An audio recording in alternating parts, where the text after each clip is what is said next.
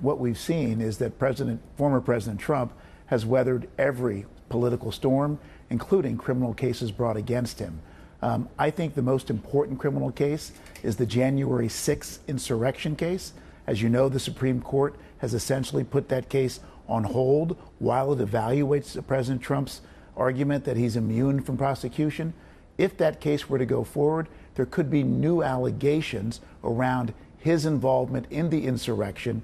If that is going on while the uh, election is going on before November 6th, that could have an impact.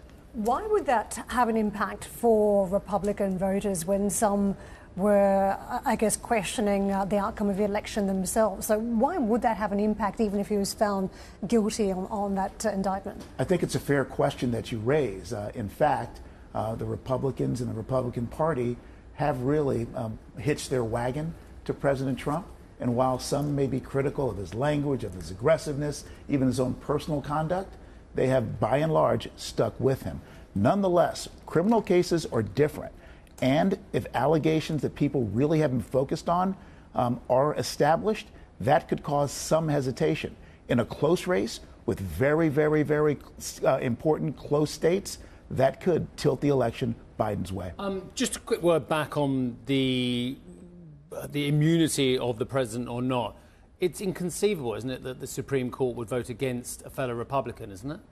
Well, Bear Steve, in mind it's six three at the moment in terms of Republicans versus Democrats on the sure. The Republicans certainly have the majority of the, on the Supreme Court. This immunity question, however, um, I think is a slam dunk. Uh, and so while you may get one or two uh, uh, Republican appointed judges to side with President Trump, as they so seemingly we're, always six, do. 6372 that he's not immune. The Supreme Court will find that he is not immune uh, from criminal acts. Karl, when do we get that? That's a very good question. Um, and uh, the Supreme Court will likely uh, hear argument and rule on that at the end of this term. Uh, that could be in June. Uh, and then, depending on the ruling and timing, you could have a trial in Washington, D.C. on the insurrection. But um, there is a large number of Americans, and it's not for me to make a value judgment on that, that think that the president, the former president, is being persecuted by the legal system, which is skewed by Democrat judges and uh, democratically leaning legal forces as well. Do you have understanding for that view from circa 50% of Americans? Well, it is an interesting concept uh, that President Trump has uh, indeed embraced this theme of martyrdom, um, that he is being persecuted because he's the people's choice. Um, the reality is that this is politics, not a criminal trial. And in politics, President Trump has proven to be more uh, uh, sustainable, if you will, uh, than others might have. Uh, he, he's incredibly sustainable as well. Can I just jump in and ask you what happens from here then? If there is a criminal conviction, would that mean that Trump could not run for the election and Nikki Haley could relaunch her campaign? We know she only suspended hers. Is that the playbook for the Republicans if it came down to that? We are in totally uncharted territory. Never has there been a presidential candidate for a major party facing criminal prosecution.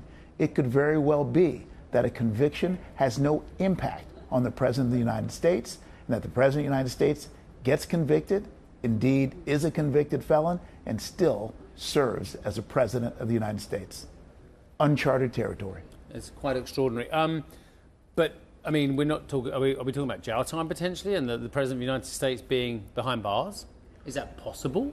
You know, speculation uh, is not where I'd like to be, yeah. but in this realm, anything and everything is possible. First, you'd have to have a conviction, and then you'd have to have a sentence, and all that would have to occur before uh, the president became president, because the law in the United States is that criminal trials should be delayed while a president is president.